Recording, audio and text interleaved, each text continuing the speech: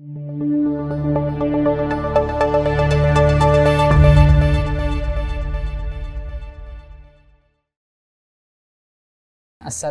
warahmatullahi wabarakatuh. Alhamdulillahirrabbilalamin Wassalatu wassalamu ala ashrafil anbiya'i wal mursalin Wa ala alihi wa ashabihi Wa man tabi'ahum bi ihsan ila yaumiddin. Amma ba'd. Marilah kita terus bersyukur kepada Allah subhanahu wa ta'ala Yang dengan limpahan rahmatnya Kita diberi kemudahan dan keistiqomahan untuk terus beribadah dan mendekatkan diri kepada Allah Subhanahu wa taala di masa pandemi ini. Tak lupa salawat serta salam tercurah kepada junjungan kita Nabi Agung Muhammad sallallahu alaihi wasallam beserta seluruh keluarganya, sahabatnya dan siapa pun yang mengikuti mereka dengan baik hingga akhir zaman kelak. Ikhwani fillah rahimani wa rahimakumullah. Kalau kita bicara masalah lifestyle atau gaya hidup macam-macam dan beragam bentuknya. Kita ada masalah fashion, ada masalah kuliner, dan lain sebagainya. Khotiliman, gaya hidup seseorang atau lifestyle-nya pun dipengaruhi oleh beragam faktor. Ada karena orientasi hidupnya yang hedonisme, madi, duniawi, ada juga yang terpengaruh karena motif ingin tenar, ingin dikenal atau ingin dicap yang paling, yang ter. Ada juga karena ilmu pengetahuan, pengalaman dan pengamatan yang dia miliki berbeda dengan orang lain sehingga gaya hidup orang tersebut berbeda dengan yang lain. Dan faktor-faktor yang lain yang menyebabkan gaya hidup setiap manusia berbeda. Namun jelas faktor yang paling bisa memberikan efek positif terhadap lifestyle atau gaya hidup seseorang adalah ajaran agama Islam. Khawatir iman rahimani rahimakumullah. Seorang muslim harus berpikir uh, akhirat orientasi ya. Apa yang dia kerjakan harus bisa menghasilkan pahala Oke okay lah kita tahu time is money. Bagaimana caranya kita mencari uang sebanyak mungkin. Tapi jangan lupa kita juga harus berpikir setiap keringat yang keluar dari tubuh kita harus bisa mengantarkan kita ke surga. Ikhwatil iman rahimani wa rahimakumullah. Seorang muslim pandangannya tidak terbatas hanya di dunia. Hanya me menerima pujian, kritikan dari manusia, tidak tapi lebih dari itu. Dia memandang kehidupan duniawi dan juga kehidupan akhirat setelahnya. Ya, dia prioritas yang pertama adalah keridhaan Allah Subhanahu wa taala. Bagaimana seorang muslim bisa menggapai keridhaan ilahnya, Rabbnya dengan gaya hidupnya tadi, dengan berpakaiannya, dengan bagaimana dia menikmati kuliner-kulinernya dan lain sebagainya. Khatil iman rahimani wa rahimakumullah. Ya. Kita lihat sekarang kaum milenial banyak sekali gaya hidup mereka. Ada yang bermakna positif dan tak jarang yang negatif.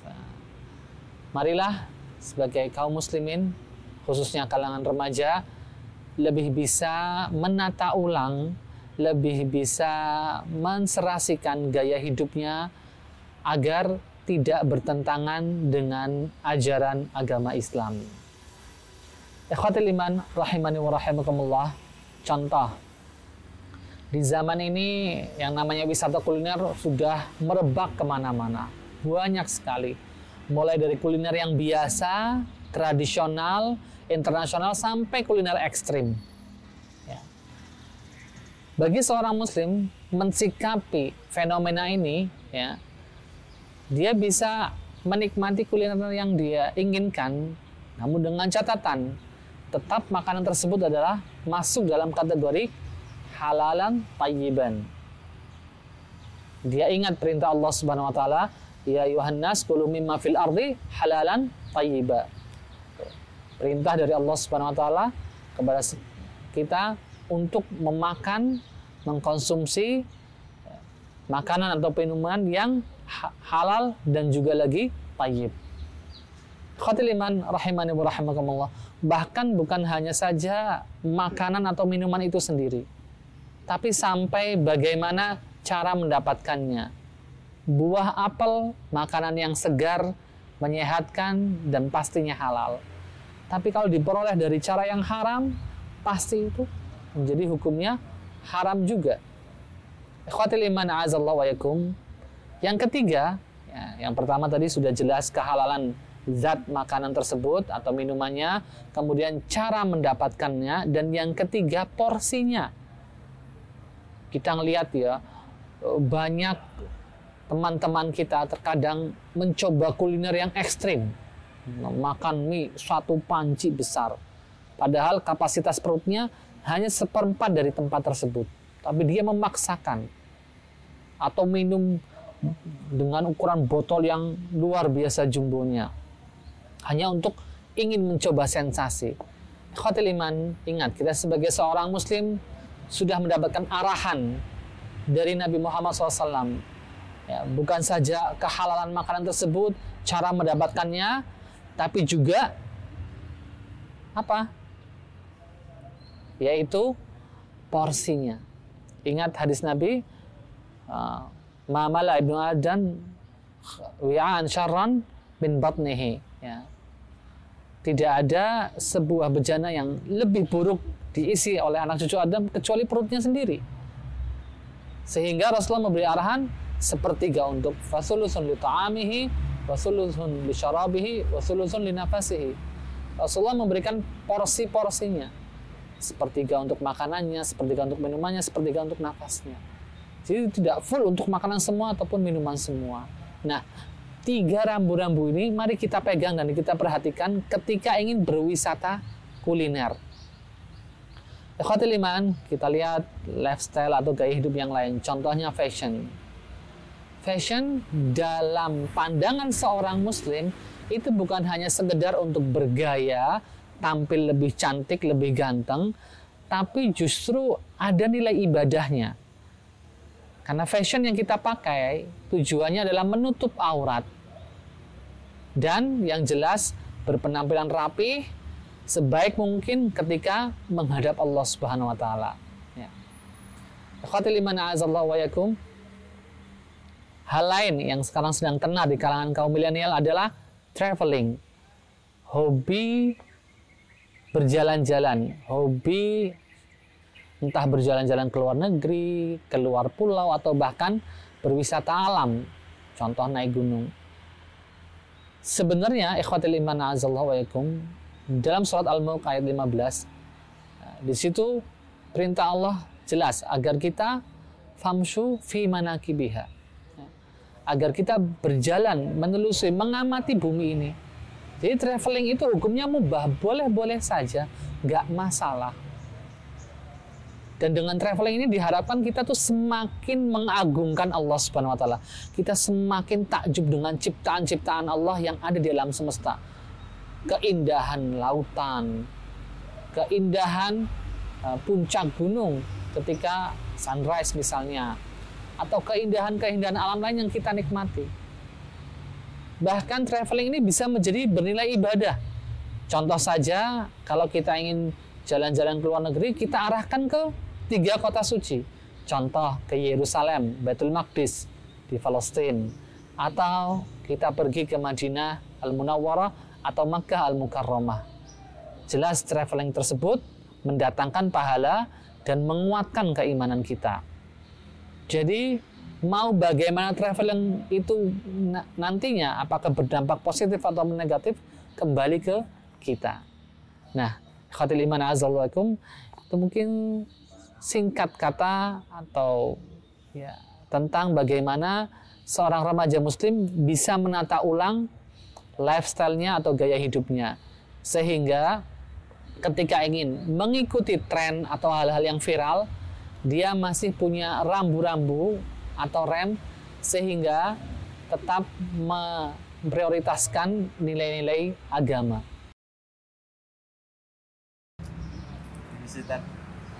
ini kan zaman sekarang itu tren remaja itu banyak banget ya pak hmm.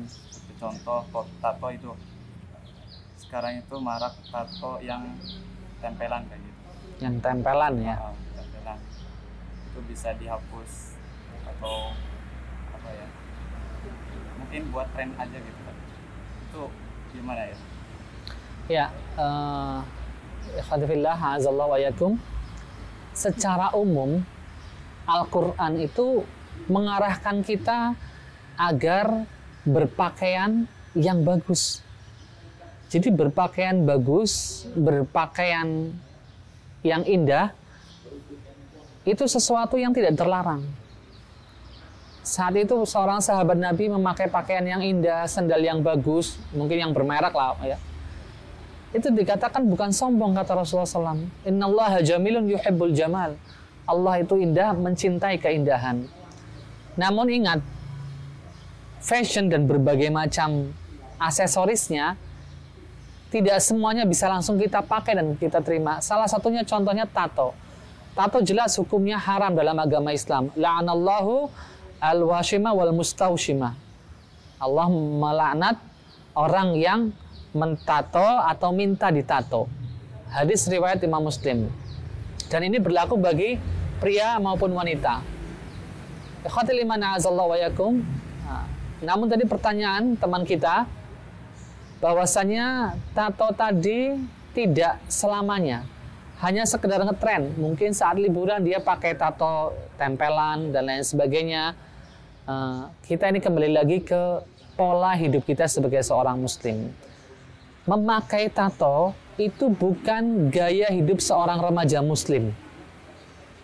Tato itu bukan gaya hidup uh, para sahabat Nabi di kala mereka muda, apalagi para tabi'in.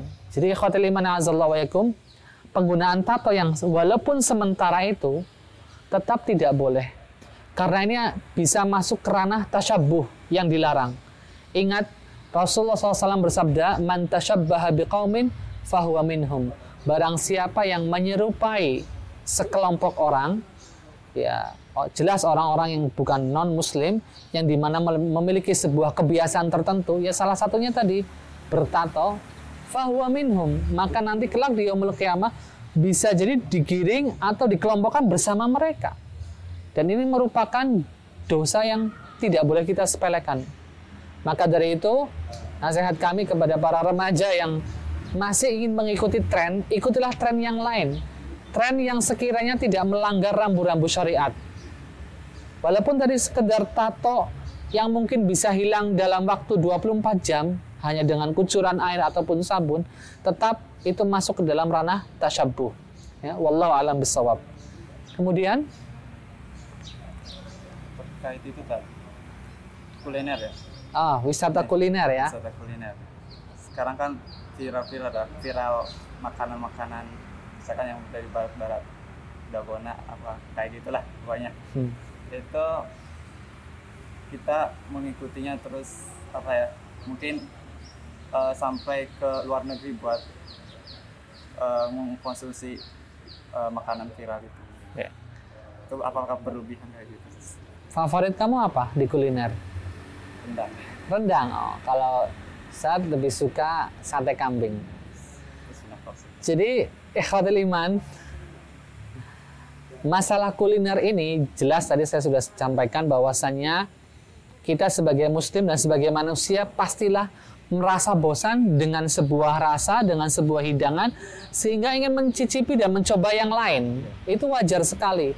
Namun ingat, apa yang kita makan harus mengikuti tiga rambu-rambu tadi. Yang pertama, jelas kehalalannya. Sebagaimana firman Allah Subhanahu wa taala dalam surat Al-Baqarah ayat 168, "Ya Yuhannas kulu mimma fil ardi halalan thayyiba." Ya, wahai sekalian manusia, makanlah sesuatu yang halal lagi tayyib di muka bumi ini. Jadi kita tinggalkan segala macam yang haram, walaupun sedikit.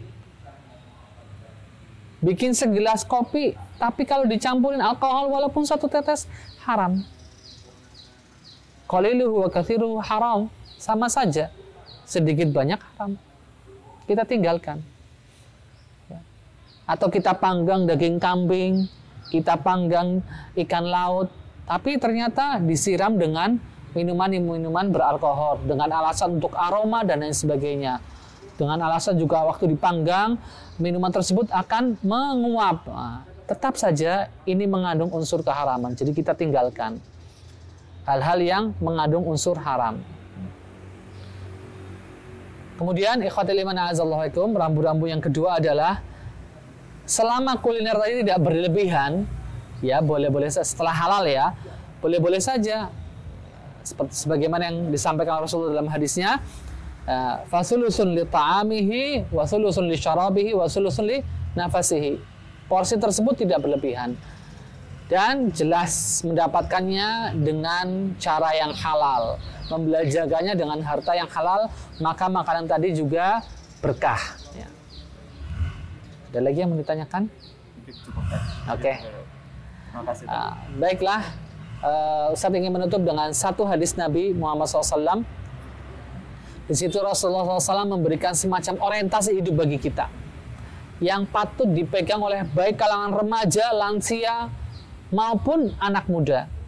Rasulullah bersabda, ya, ihris ala ma yanfa'uk wasta'in billah. Jadi mari kita semangat, mari kita kejar segala sesuatu yang bermanfaat.